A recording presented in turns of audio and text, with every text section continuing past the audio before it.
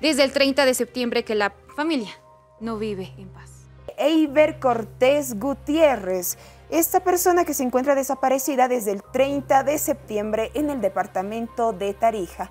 El número de contacto, por favor, el 787 06440. Lastimosamente esta persona ya no está con sus seres queridos. El tipo de vestimenta lastimosamente se desconoce.